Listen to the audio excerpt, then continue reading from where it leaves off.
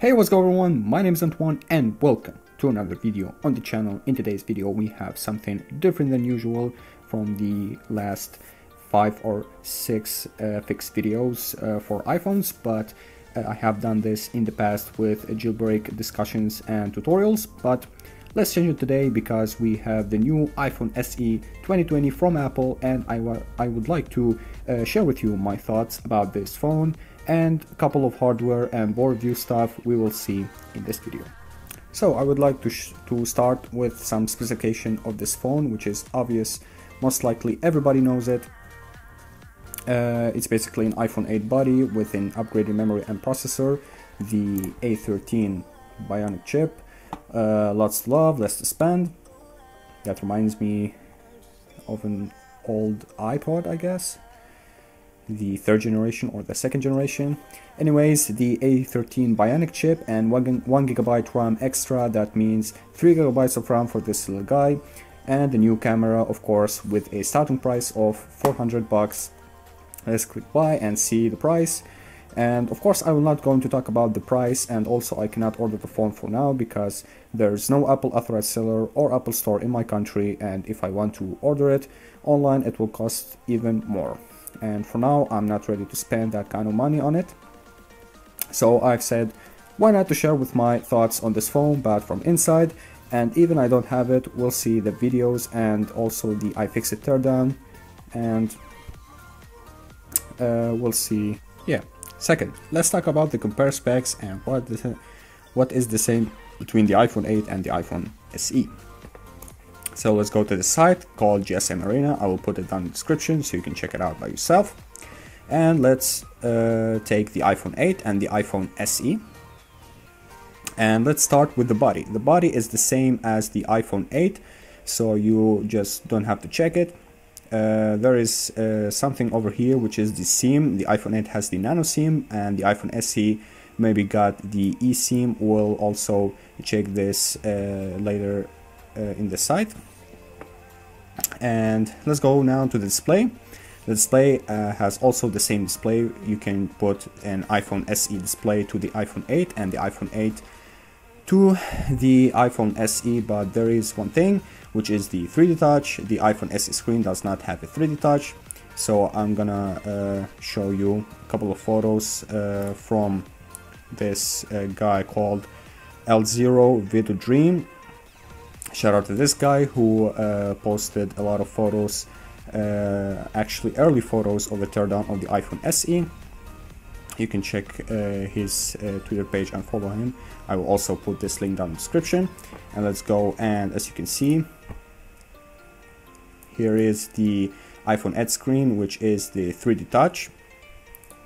And go to the iPhone SE which is the which does not have a um, 3D Touch, but I'm curious that if you can just take the um, the flex cable for the Touch ID from the iPhone 8 and put it in the iPhone SE because it's not uh, just uh, connected together. That's uh, that's a question you have to ask or you have to check uh, for those who are refurbishing the screens for the iPhones. Now, uh, let's go again to the comparing now the platforms has a little bit changing over here. You can see that the A13 Bionic chip is the new hexa-core uh, 2x 2.65 gigahertz Lightning and also the Apple GPU has 4 core graphics and uh, for the iPhone 8 has the 3 core graphics. Now the memory, you can see there is also a 1 gigabyte of RAM more for the iPhone SE uh, but uh, the most uh, capable uh, storage for the iPhone 8 is 256 and also 256 for the iPhone SE. Now the camera is a 12 megapixel, but uh, as Apple says, that uh, is has a significant improving camera for uh, improved camera for the iPhone SE. So I think has the same status, but, but over here you can see the HDR and OIS and also stereo sound record which I guess the iPhone 8 has it also but I don't know.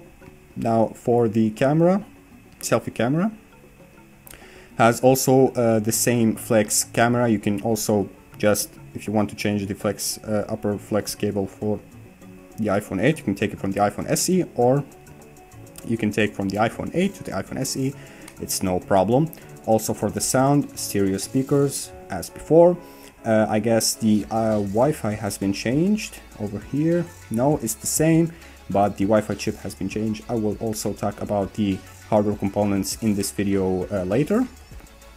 Now the battery is the same for the milliamps but it's still uh, the same watts also but uh, you cannot put an iPhone 8 battery to the iPhone SE and you cannot put a um, yeah you cannot put iPhone 8 battery to the iPhone SE so uh, that's a bad thing. But uh, all other components like the uh, upper flex cable or the uh, charging flex cable uh, or the speakers or the Taptic engine or the uh, bottoms flex you can all just took it from the iphone just take from the iphone 8 and put it in the iphone se and so on from the iphone se to the iphone 8 it's not a problem so this is for the little uh, comparison between the iphone 8 and iphone se and now let's jump to the fun part with the board view now first teardown i saw on youtube is from a channel called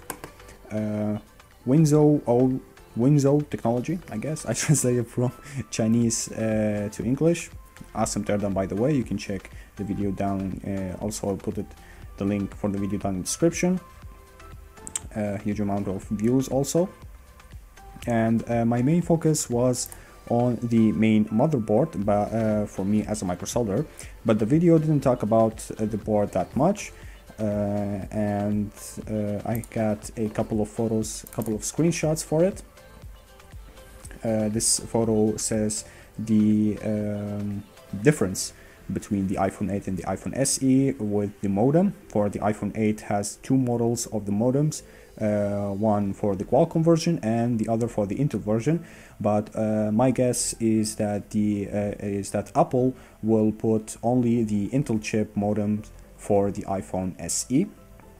It's more cheap and for uh, not getting trouble with the Qualcomm issues with the iPhone 7. Now let's jump also, here we are, we have another uh, compare photo between the iPhone 8 and the iPhone SE. Here's the another photo. And they didn't talk that much for the mainboard. But uh, I waited for iFixit to make a teardown for it because they do uh, they focus also on the uh, main board and they've done an awesome job uh, to explain the board and but they did not uh, upload a video on YouTube for it but they uploaded a video for the uh, first look. But now let's go to the website and see. Let's see what we have here. This is the fun part for me. And let's jump for the A13 chip. And as you can see as I said before that the uh, iPhone SE will get um, I mean like 90% uh, for me as a guess uh, the Intel version modem. And here I guess is the audio amplifier. Let's go over here. The service ICs I'm not gonna focus on those one. Here's the main board. As I said, iFixit do a very, very good job for scanning the board. And now let's go to the other side, which is the fun part. And here comes the, a lot of changes. Now, first is the Wi-Fi chip comes from uh, comes from the iPhone 11, uh, 11 Pro, which uh, which is a very huge change. Uh, between the iPhone 8 and the iPhone SE. The IC control management uh, PMU also came uh, comes from the iPhone 11. Now the audio codec comes from the iPhone 8, but as you can see, uh, the hold of the audio codec is basically like the iPhone 7. So I'm wondering if it also will got the uh, iPhone 7 audio codec problem or not. Uh, I would like to hear, uh, hear from you uh, your thoughts about this audio codec chip and where where Apple is placed the chip. in down in down in the comments. But I guess Apple made the material of the board uh, better from the iPhone 7, but we'll see uh, at the time. And here we are. I guess this is the uh, flash memory, which it comes to 256 gigabytes maximum. I guess I uh, also uh, watched a video for Gilon to make it to upgrade it to uh, the 512 gigabytes, I guess, for the flash memory. And as I said, those are the big changes for the ICs, the um, PMU, the Wi-Fi, and also the modem is a very uh, special modem for the phone. But anyways, uh, that's it for the board, I guess my main uh, my main um, uh, discuss is for the audio codec. Uh, I hope Apple made a better job for the board uh, to make it even stronger in that area to not get the audio codec problems also for the iPhone SE. But who knows? For those who uh, bought the iPhone SE, we'll see in the time. And first content on, my, on the channel. And I also would like uh, to know your thoughts about this phone. And for those who uh, know how to micro soldering um, I also would like to know the thoughts about uh, this uh, board and how it will affect the uh, fix of this board. And I guess yeah that's it. All the links that I've showed you in this video put it down in the description and I know it's a different video uh, from the content on the channel but uh, I would like to try it and uh, see your uh, thoughts about this video. So uh, I hope you enjoyed this video. Please leave a like and subscribe to the channel. And uh, as always stay healthy. And yeah that's it for this video. Here's Antoine saying to you peace out